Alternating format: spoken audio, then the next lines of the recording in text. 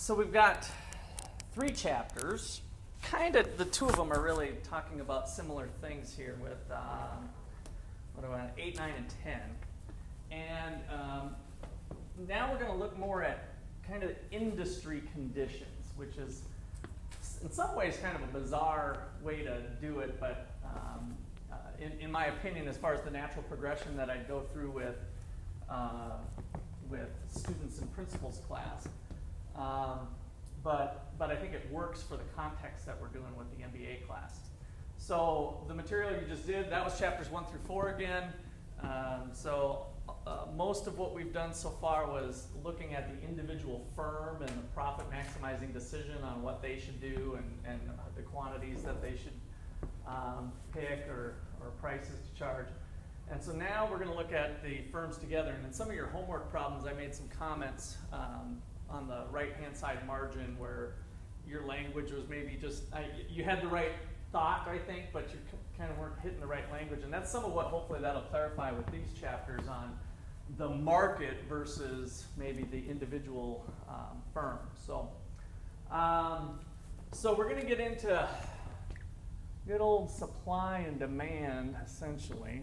Um, so I'm going to uh, put down the demand curve. We did the law of demand. And what was the law of demand? And quantity demanded goes down. Good. So, so that's the one we got to be careful of. Uh, here's the distinction that, that we're not trying to be picky, but it actually is important in the analysis of it, is that this is the demand curve, and um, the law of demand says that at this price, at $10, consumers want to buy 100 units. That's the quantity demanded at a price of $10, right? So that's one point along the demand curve holding all other things constant. Things like what? Income. Good. Related goods. Related goods, external forces could be in there too, right? So, um, uh, so the price of related goods, uh, we'll talk more about that later when we get into substitutes and complements. So we got tastes and preferences. A couple that we didn't even, that I didn't even mention to you are that are classic kind of our expectations, which we'll talk about down the road, and just kind of moving through. Um, so the population of Ottawa, if uh, Ottawa's got about how many people? You guys know? 12,000 or so.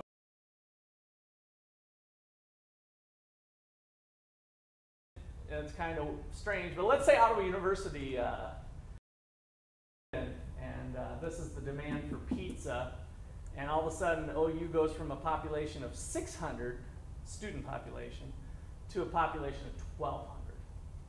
What happens to the demand? I see David's eyes moving because he knows he's got pay raise coming if, if he helped contribute to that.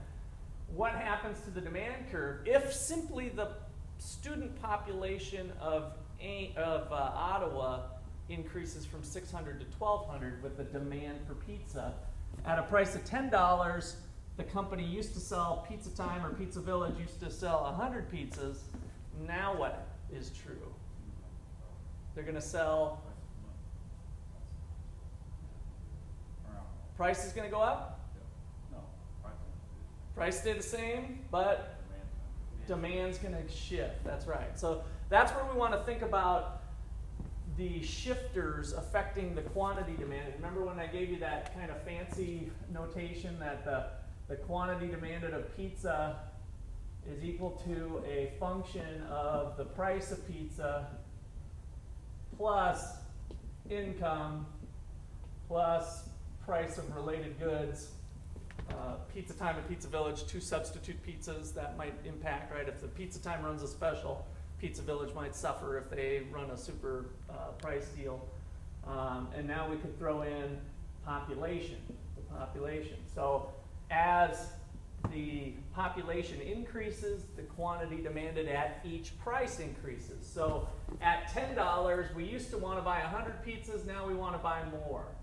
Even if the price was $8, we used to want to buy this much when the student population was 600, but now that the student population is 1200, we want to buy more. At a low, low price of, we don't even have Little Caesars here, but somewhere $5 a pizza, right? We used to want to buy this many pizzas, now we want to buy this many pizzas. So at every price, we are relocating the demand curve to the right, which is the shift of the demand. And notice that this is one of those external influences. The pizza place, of course, had nothing to do with the student population. They're just a competitor in there. And so as the population of Ottawa grows, so does the demand for pizza. When we isolate price all by itself, that's what the law of demand is, as Donald said. When the price falls, all of the things constant, what things? These things. As the price falls from 10 to 8, then we sell more pizza.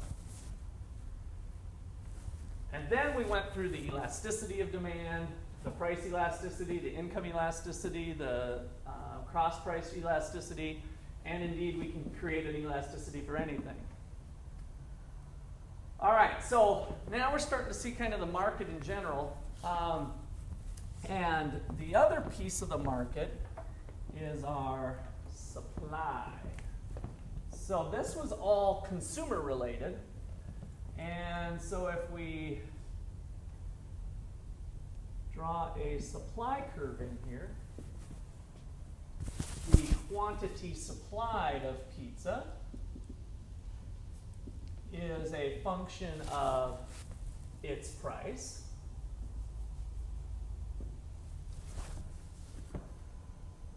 And now put your pizza time cap on.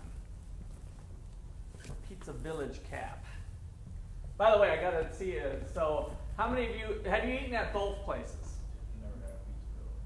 See, that's that's the problem I'm trying to tackle. Heard it's not very good. That's what I heard too. Jason, where are you at? Did you eat at Pizza Village? I've tried them both. I heard Pizza Village wasn't very good, but I wanted to see for myself. And what did you d- determine? It wasn't that great. Mm. And Did you try the Dennis? I don't like like the really like sweet marinara. Okay. Where it's yeah. All right, so here's my recommendation. And everybody I've brought to it thinks it's the bomb. Hmm. The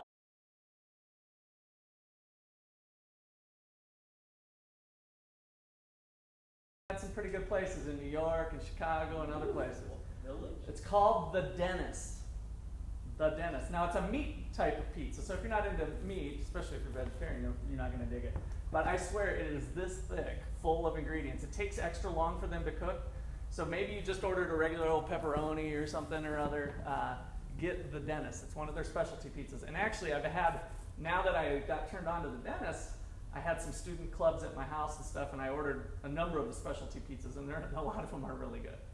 So um, I had my student group uh, for a class. Um, actually, uh, it was leadership and creativity and change. David, remember when we did Yeah, Trendle yeah, Lumber yeah. as an undergrad? David was in that class, and we went and did Trendle Lumber.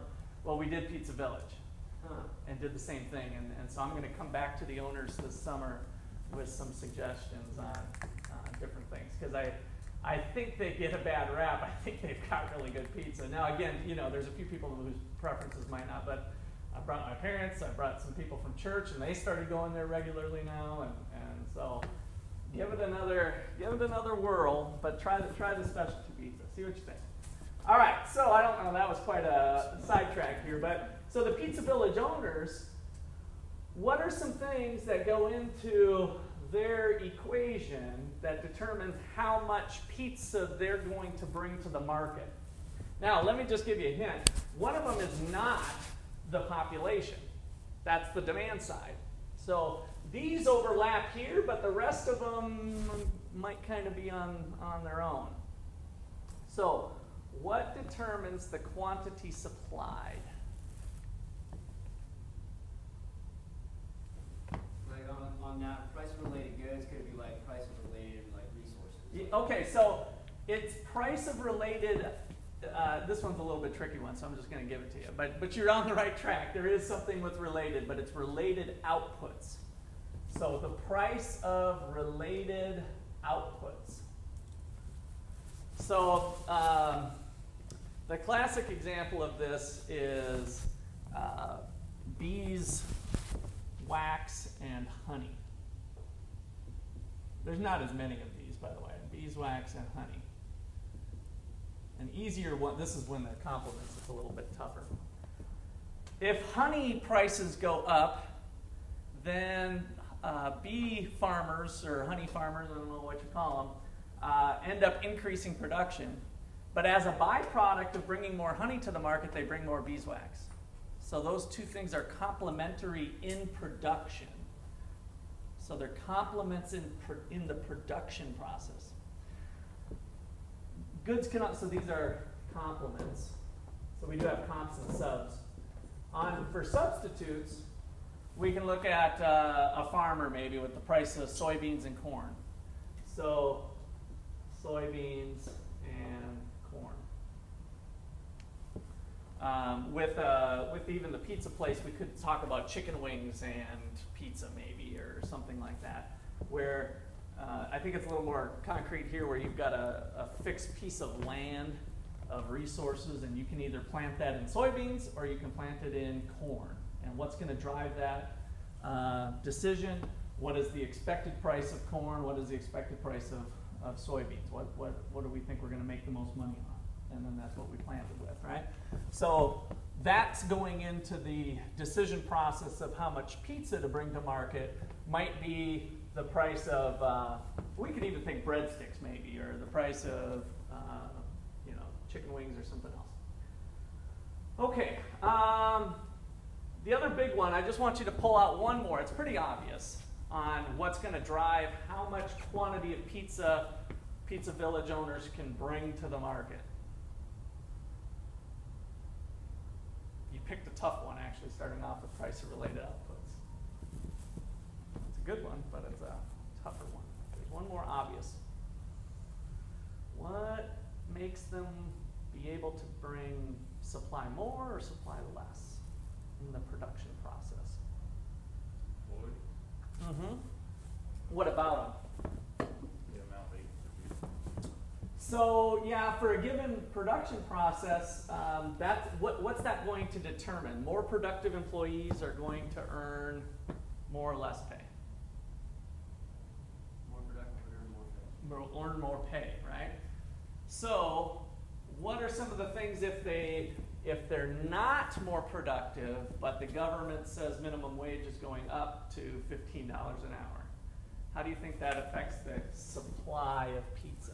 Is that going to increase the supply of pizza when wages, minimum wage doubles? No. It's going to go down, right? Might even put them out of business, some of the small businesses. They'll, they'll try to adjust, but we'll have to see. Ultimately, they're going to, pizza prices are going to have to go up, but they're going to have to go up at pizza time too. You know, so minimum wage legislation is kind of a, a dicey thing, and, and uh, it, the, the fear is that it might cause less people to go out for pizza and go buy a frozen one, right? Because the frozen pizza probably doesn't depend on minimum wage. Why?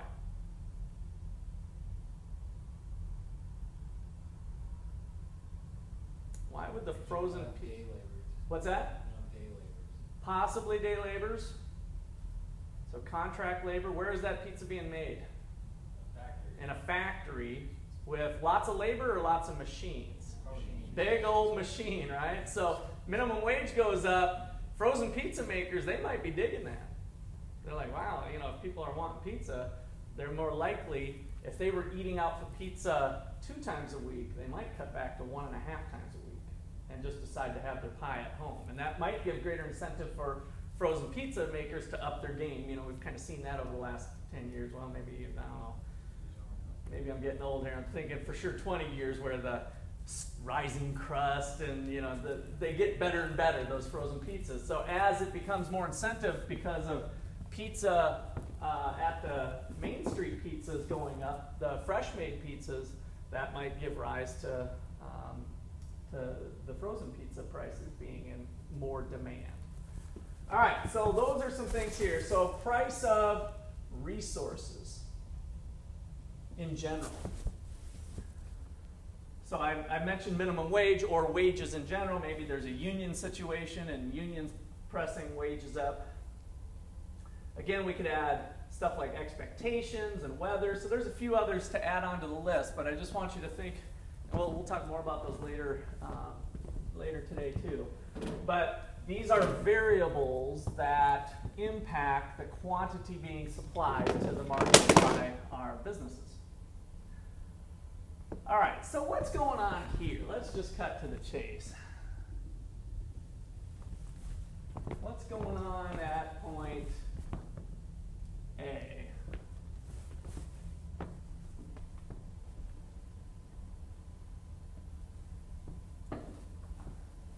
Supply and demand. Okay, be careful with your language. Since I picked on you last time, this is perfect time to pick on you again.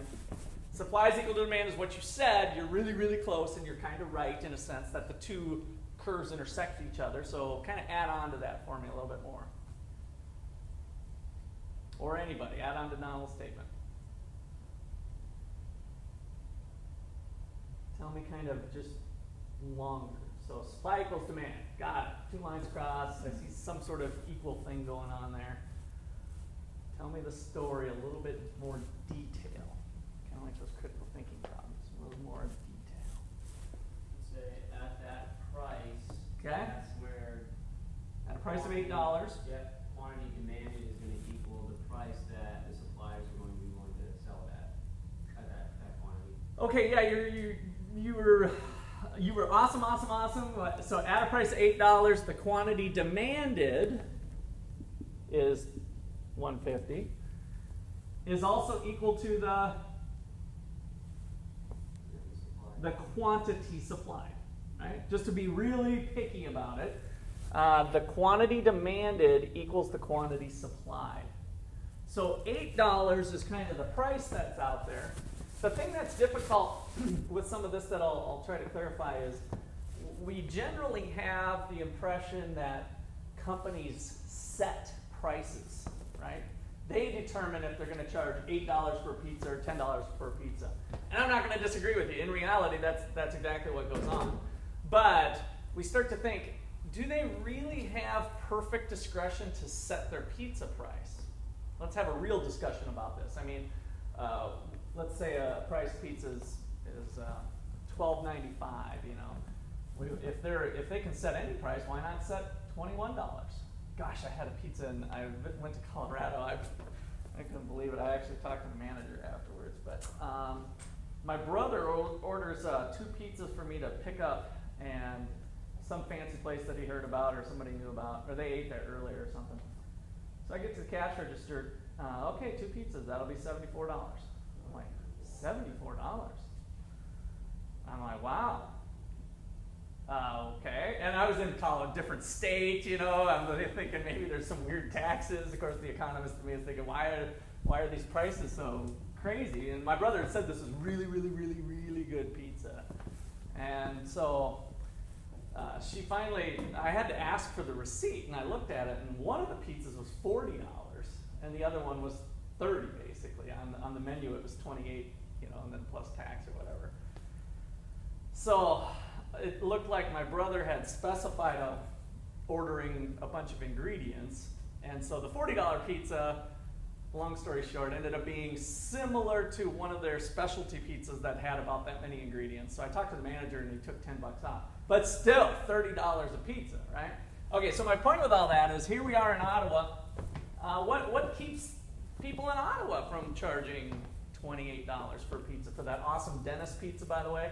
I think it's 14, 15, maybe 16 bucks. I mean, and, and like I said, it was full. Way, but by the way, that pizza in Colorado was not that good. I, I mean, for, for the price. It was a good pizza, but it wasn't like loaded up with uh, stuff. So the dentist is much better. That's just a good, good quality pizza for the price of the Okay. So we got to think about quality and price. That gives them some flexibility, right? But if I'm the owner of Pizza Village and, and I like money and I like profit, and I'm currently charging sixteen dollars for the dentist, why not charge twenty-six? Yeah, look at the income of the people and, you know, where you're at. Okay, income of people where we're at would be one of the factors. Good. What else? That's what I was gonna say, you just gotta know the culture of the income that's Okay. population. What else?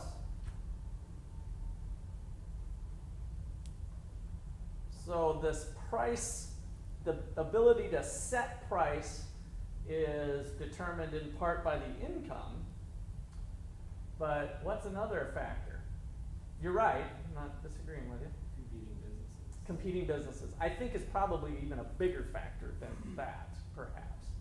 If Pizza Village was the only pizza place in town, that might be something, but what do we got? We got Casey's, Pizza Hut, uh, Pizza Time. Build a Papa John's. and- Yeah, I heard Papa John's is coming, I heard that too. Shortstop has some pizza. So there, there's people out there that, man, you'd be lucky to squeeze another 50 cents out of that dentist pizza, perhaps, or another buck, right? Maybe they do have an underprice. I don't know for sure. I bet. But my point with that is that there really is bounds that are determined by these factors in the marketplace. And so, in a competitive environment, the firms tend to be more what we call price takers. They take the price that the market sets. Now, this is where it gets a little bit weird because we still give them some pricing discretion. You know, they're going to be able to wiggle their price or run a coupon or you know change it, but they're they're not going to have much discretion. All right, so um, let me go over the spectrum of competition. In fact, I think I did. Um, I might have gave you guys the video on this before, but this is the right time to have this discussion. Did anybody remember a spectrum of competition? Maybe I didn't, Honestly, I can't remember for sure, but it might be coming up. So uh, we want to think about the different environments that firms might operate in. Okay, so the pizza environment is one thing. Now, how does the pizza environment differ from the web browser environment, the search engine environment? Who's our player in the search engine environment that you guys are familiar with? Okay, and what other ones are there? Yahoo, Bing. Then all of a sudden we hit a stone wall, right? Ask.com, maybe. I don't know. Do you guys use any of these? Or they might have been one long time ago. So pretty quickly, so I think I heard some data that Google controls 70, 75%, or I should say control, but they have 70 to 75% of the search engine market. Okay? So there we just, we couldn't even get up to the number of pizza places in little old Ottawa. And here we're talking about a global phenomenon of search engines, right? So different environments for each firm and how they go about maximizing profits. And so that's what I want to think about, or what are the key factors that determine that environment? All right, so we've got this spectrum, or I've referred to it as a spectrum of competition. Spectrum of competition. And I think this will help us get through these three chapters a little bit better. This is not something that's in your in your book per se, although he talks about these different things. At one end of the spectrum, we have perfect competition.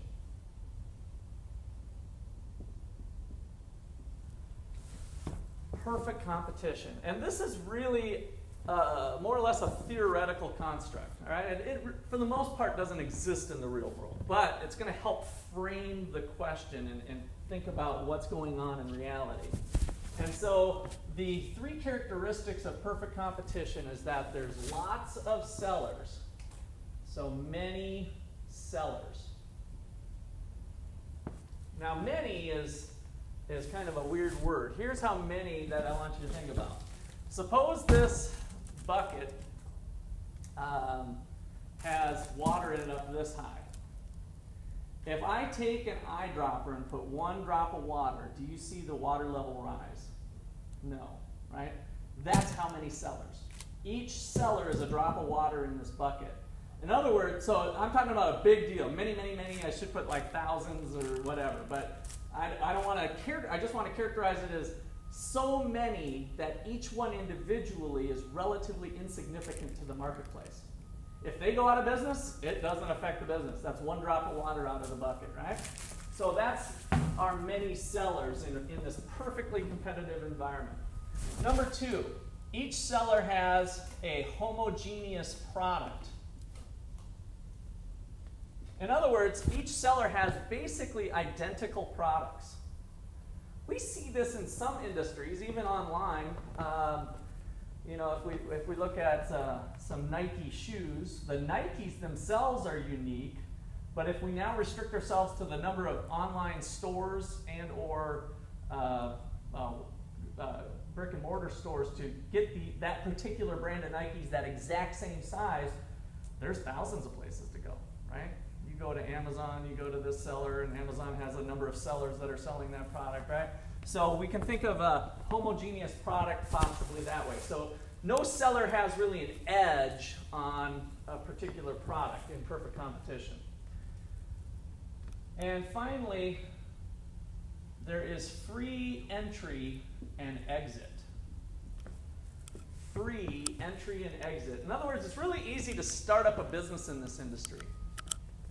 You want to become an online retailer? Boom, you're, you are one. Right? All you needed was a, a free web page and somehow get your name out there or something. So pretty easy to start up a business and pretty easy to shut it down as well. So free entry and exit. So they kind of got this feeling of firms coming in and out of the space pretty uh, easily. All right, so those three characteristics make up perfect competition. Probably the closest example to this in the United States is farming or agricultural industry, right? So if we talk about farmer Tom, Dick, and Harry and they're making corn in the middle of Iowa, there's a whole bunch of farmers. Each farmer's product is basically identical from uh, the other one, and it's pretty easy to start up a business and shut it down. Go plant some corn and get back out. Now, in reality, that's where it gets a little funny with commercial farming, we start getting into big, heavy equipment, and there might be some entry costs to really compete at the same level that the big farmers do. So, so uh, if we think back 100 years ago, it was probably closer to this, where we can just till up our ground and, and go. So that's one of the better examples of kind of getting closer to this competitive environment. At the other end of the spectrum, we have monopoly. And monopoly, by definition, is one seller. So instead of many sellers, what if we have only one? And that one seller, since there is only one, if we have um, a single product firm, they have a homogeneous product because they're the only show in town.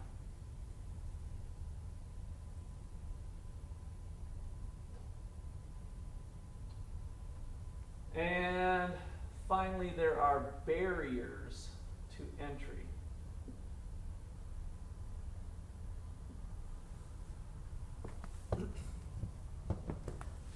So, um, the only supplier of natural gas here in Ottawa is Kansas Gas. So they're a monopoly. How did they get that power?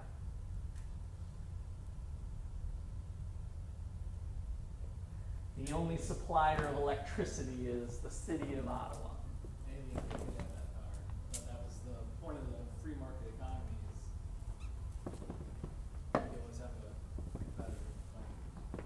I guess because Ottawa is, has such a small population. Uh, if you go to any city, you'll likely find the same Oh, thing. really the same thing? Yep, Like government regulation. government regulation, that's right. So, um, remember last time we talked about economies of scale? Who remembers what that is? I can't remember, was that on this test that we just did? Isn't it like producing more product? Yeah, producing more of a product does what to your costs? lowers your long run average costs, right? So we, we increase the scale of production and it brings down those costs.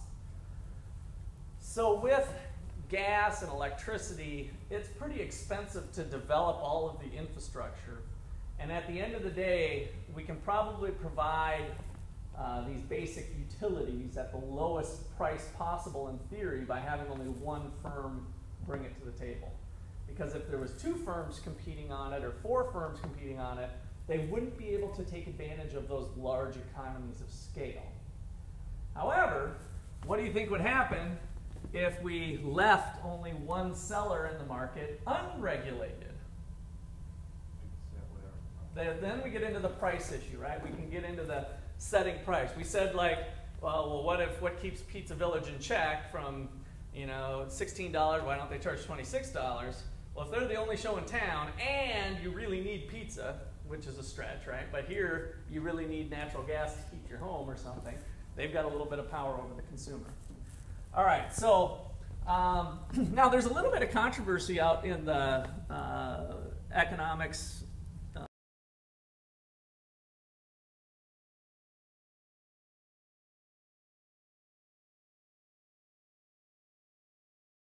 voluntary choice, and let's say there it wasn't government uh, regulated, and, and let's say Kansas Gas jacked up the prices to some astronomical level, uh, what, what would happen? Would life cease to exist? Or tell me about how the market might discipline even a monopolist. Use less gas, probably. Okay, they'd use less gas, and in order to do that, what would they do? Create alternatives, right? So even you know the, the, the perception out there is that oh well we got to watch out for those monopolies because they'll start you know taking advantage. You know Google has been kind of under like do they have a monopoly in search engines? But yet they offer this service for free and it makes everybody better off. It seems to make a lot of people happy to have a good search engine to be able to get the stuff. So are we really being pounded by a monopolist? You know, go back to Microsoft. Uh, when they were more dominant, they came in under antitrust laws for being a monopoly, and we're talking about overstretching, you know, their power. Um, you know, was that all there? Uh, some economist, and I would probably tend to lean on this side, would say having a monopoly per se isn't necessarily a problem because it pushes other entrepreneurs to develop alternatives. And they do. Eventually, those monopolies disappear. There, there's not one out there standing, even when the government protected them with regulation, which is usually the key to maintaining your monopoly, is getting in fat with your with your congressman and getting a new law passed that keeps competitors out and gives you this edge. So um, that's a topic that we'll talk more about later too. That's called cronyism, and that's one of the most detrimental things, in my opinion, to our economy is when we have business people get getting in tight with the with the government. And so, if we preserve these um, uh, competition and we eliminate barriers to entry, then the fact that there's one firm that's really serving the public well, who cares? Kind of like Google. I mean, what do they do? They're really serving the public. They're really bringing benefit to us. And they happen to be doing it knocking the pants off of everybody else. And so there happens to be one of them. But yet, is there barriers to entry? Not in the sense of it's just because of their good brand and their what being evil. Um, it's just kind of a fact of life that we have to be uh, uh, leery of, but um, we might, uh, I think there's been examples in history where the government has caused more problems by regulating the industry than satisfying a problem. Uh, one of the classic examples is rail, the railroads. So early on, there, there's kind of a long story, and I don't know it perfectly, but the, the gist of it is that uh, the railroad tycoons kind of successfully lobbied for um, keeping rail prices low, and so they protected the industry. And have you heard that Japan has nice rails that go 200 miles an hour and get people to places? You know that the rail system around the world developed in different ways, whereas ours looks very similar to the way it did 75 years ago. We still got kind of the same tracks, the same looking type of cars, you know, plugging along. And then we had the uh, trucking industry develop more as a result of that. And so a lot of that had to do with the government coming in and. A lot of people look at that narrative and they think, oh, well, look at railroads. That's all owned.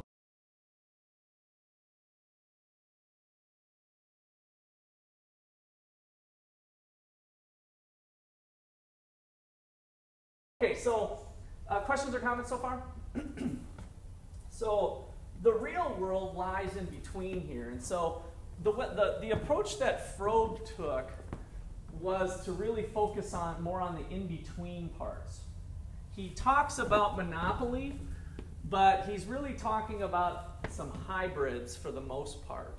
Um, and so I, that's what I like to clarify. I think it's easier to see these, these polar extremes and then think about reality because the important components in the marketplace are still these fundamental three things. And so the the one extreme that we'll spend a lot of time on here, that's on the on the spectrum, is actually closer in here, is called monopolistic monopolistic competition. And this is the one Froeb. In fact, let me. Uh, I will give you Froeb's definition. Because again, he kind of just talks in general. If I can find it here. Let's see. Nine. I think it's in nine.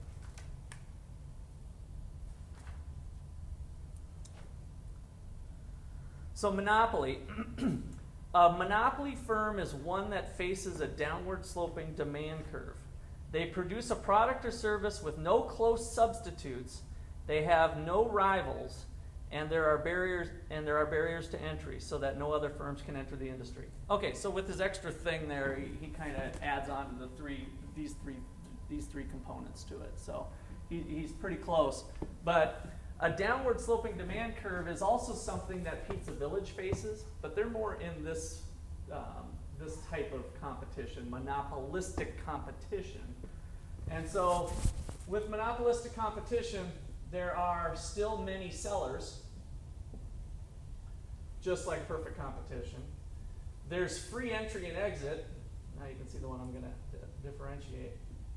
Pretty easy to start up a pizza place on Main Street for the most part. Not a lot of restrictions. And number two is where we have a difference, and that's with a differentiated product. Differentiated product. So if firms have a product that's slightly different from each other, how does that change the game? Well, that's where most of the things on the shelves at Walmart are, right? How do um, shampoo companies differentiate themselves? Let me throw that up to you. What? What's that? Shampoo for curls or color. or- Okay, good. So different types of applications, and they might specialize in one or the other. Good. What else? Let's say two shampoos that are both for straight hair or something. How do those two companies differentiate themselves? Same different stamp. What's that? Different scents. Good. So that could be they smell slightly different. As far as the the utility of cleaning your hair, they both perform equally well, but one's got a little lavender scent and one's got some clean, fresh scent. Okay? Would reliability, like, uh, Perhaps. I, I don't know what you mean by re- reliability with shampoo. Are we still on shampoo? Yeah, like, Okay. uh, I do like Palmolive, like the curls, like the, the head and shoulders, you know. the- Okay. So something with quality, back to little quality differences, the reliability of how well it performs. Okay? market direction. Market direction, market packaging, advertising, right? So the actual bottle itself looks a little bit different on how it and how many TV ads they run, all kinds of ways that they can start to make their product appear a little different, even if the contents of the bottle are pretty darn close to their competitor, there's ways that they can change things up. So we go to the fast food industry, McDonald's, Burger King, and Wendy's, they all have a hamburger. They're all on a different day, one that you might pick. They're pretty close substitutes with each other. Same thing with the pizza example. So we've got that differentiated product. Um, so with this, they have a downward sloping demand curve, but because of the number of substitutes, there's not a lot of pricing power. So with monopolistic competition, not a lot of pricing power. But they do have some.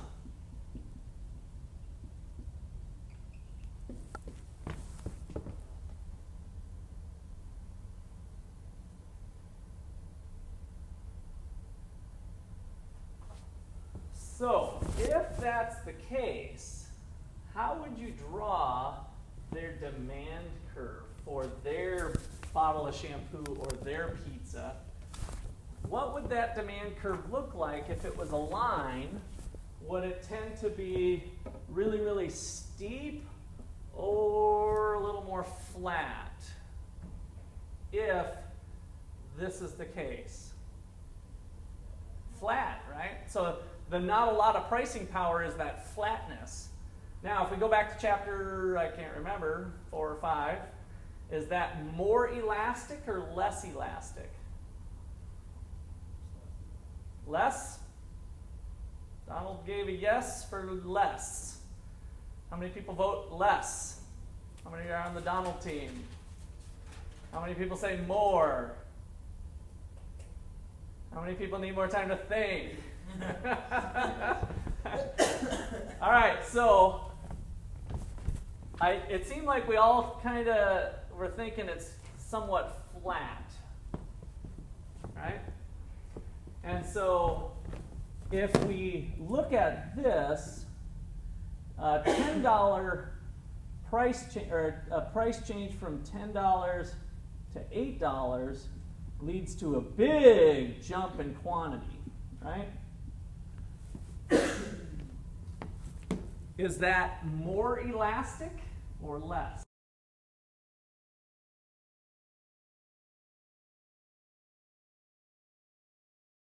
Price change.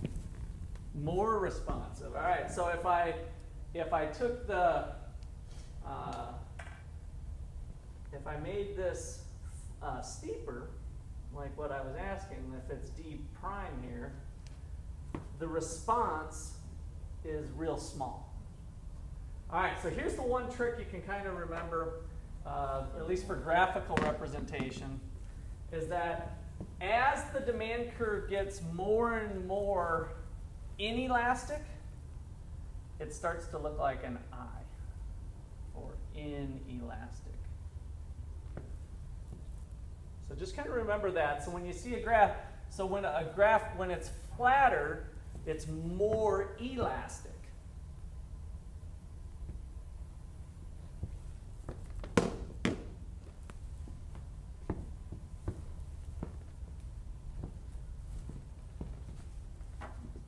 Now, if the firm is a um, in perfect competition, sorry I'm running out of room, but I kind of I could almost erase this. Yeah, I think it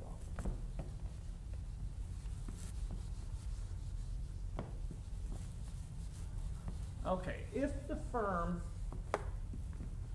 is in perfect competition, in fact, wait, let me, let me I'm going to give you the traditional model because I think this is this is not your textbook either, but I think you will get it. And by the way, this is on some of the Rusty Conrocks videos too. Okay, so here is the market. And this is a um, perfectly, let's just go ahead and put perfectly com competitive market. So that means we've got many sellers. By the way, we have many buyers too, but many sellers, homogeneous product, free entry and exit. And over to the right here is what we call the representative firm.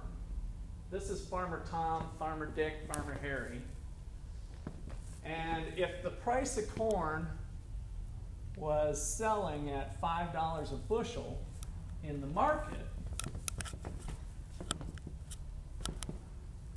and Farmer Dick here, little q, Farmer Dick cranks off a thousand bushels, how much should he expect for his thousand bushels of corn? Five dollars. Now, what if Farmer Dick doubles his production of corn? How much should he expect now?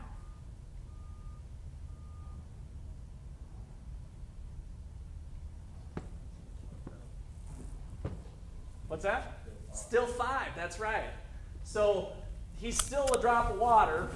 So if the drop of water represented 1,000, if he puts 2,000, ooh, two droppers, do we see that water level rise? No, he's still insignificant. Really, no matter how much he produces, he's still small relative to the market. So at $5 price in the market at the co-op from the Chicago Board of Trade, he would expect $5 at 1,000.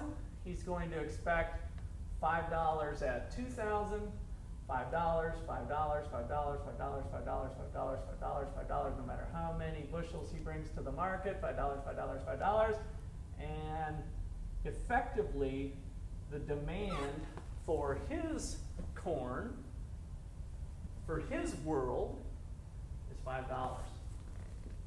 And he is a price taker.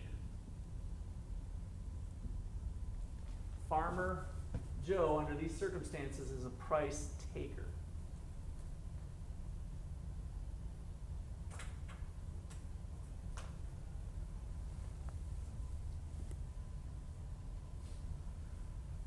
When a faces, I'm going to draw kind of two more unrelated graphs. When we've got Pizza Village, we've got some pricing discretion, but not much of it. We have lots of closely related substitutes for pizza, and so the demand curve is relatively elastic. So with monopolistic competition for pizza, by the way, this would be a little cue here. So Pizza Villa Village, PV. We have, a relatively, relatively elastic curve.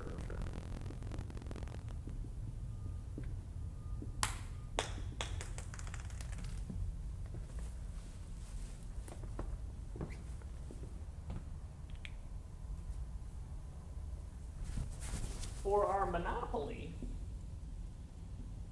our monopoly firm, they are Big Q, by the way. So there's one distinction.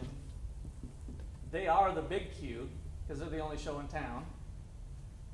And so they face the market demand curve. The demand for their product is the market demand curve. And so we'd expect it to be relatively steep, or going to be kind of is what it is.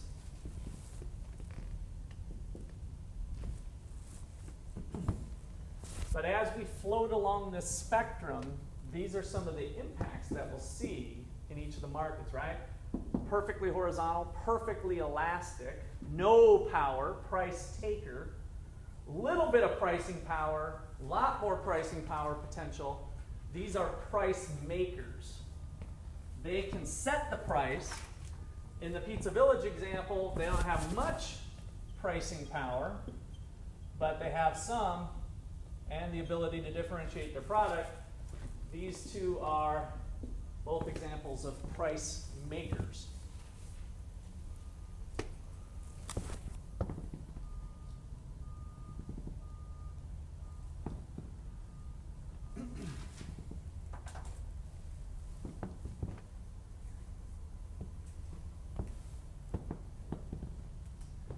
All right, questions on those so far? That help bring a few things into context from what we even have done so far with the individual firms? Because when we talked about the individual firms before, we, we um, didn't necessarily make these distinctions. And one of the reasons we didn't is that the basic profit maximizing issue is the same for all of them. Produce the quantity where the revenue generated by the last unit, the marginal revenue, the marginal benefit, if you will, is equal to the marginal cost.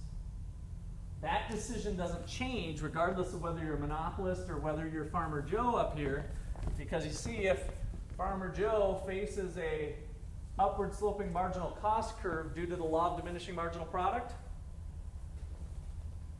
then each additional corn, what's the marginal revenue in this context? What's the revenue generated by an additional unit of corn? Five, good, right?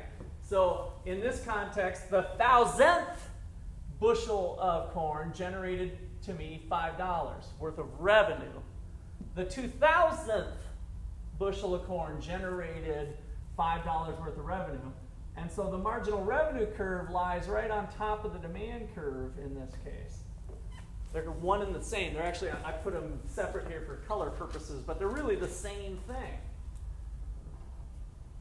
And so, same applies. I think this was one of your quiz questions. If we're operating at a level where the cost of the 2200th unit, the 2200th bushel, costs more than the revenue, what should you do? Stop producing. Yeah, produce less. Move that direction, right? And similarly, if we're producing a thousand bushels and we learn that the cost of the thousandth bushel is less than the revenue generated by it, then move this direction, right? So each each way we're moving towards here, and the way I've drawn these lines at 2,000, 2,000 is the optimal quantity to produce, where the revenue generated by the last bushel, the 2,000th bushel, is $5 as well as the cost.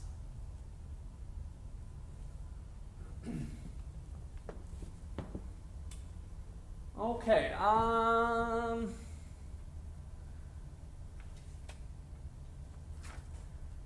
there's one more level of detail I think I'm not going to give you because it will just add confusion rather than.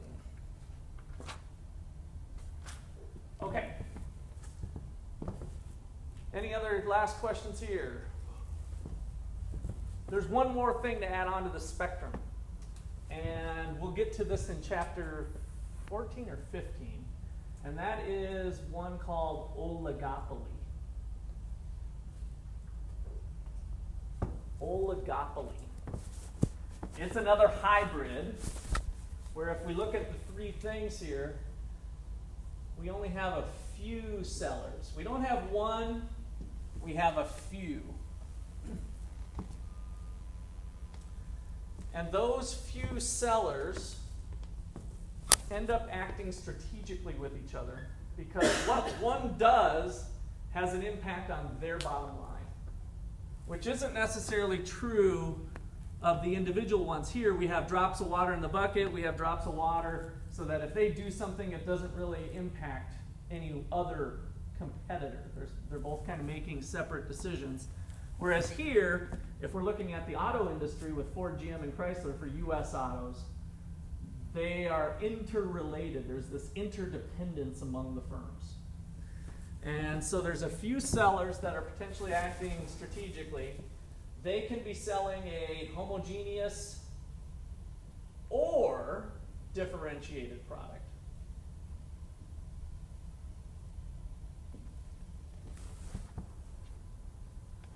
So I mentioned Ford, GM, and Chrysler. We can look at their four-door sedan that they kick out. Obviously, they're differentiated. At the end of the day, you've got a mid-priced car that's about has all the same functionality, the same power windows and everything, a little bit of design elements, right? So you got kind of a, a similar product but differentiated. Whereas if we look at oil, we have a homogeneous product with few suppliers of oil in OPEC. So we've got the, the countries around the world that conspire together that have been disrupted, by the way, by the technology of fracking, that all of a sudden we've got other producers here in the United States that have large oil reserves. Uh, the, the um, oh, drawing a blank on the name. What's the North Dakota Reserve? I want to say Bracken, but that's not quite right. Mm, not too important, but anyway, the large oil reserve up in North Dakota is said to be possibly bigger than what they have in Saudi Arabia terms of the amount of oil that they're sitting on. And so you've got this awesome new technology that environmentalists are, are wondering if, if it's good, and there's different environmental reports of whether it's going to be bad for the environment or whether it's not going to harm the environment, but they can go in and extract oil in ways that they never could before through horizontal drilling techniques. The old fashioned way was to stick an old straw down and start sucking. And now, with what they got with the different types of uh, rock that are rock formations that are surrounding it, they can go down and then they can hang a left and drill this way. And so the horizontal drilling techniques have allowed them to reach greater reserves of oil than they ever could before. And so that has rocked the boat of the oil industry and certainly partially contributed to the low gasoline prices that we've enjoyed the last couple years as the fracking technology has taken on. All right, and then finally with oligopoly, we have barriers to entry as well.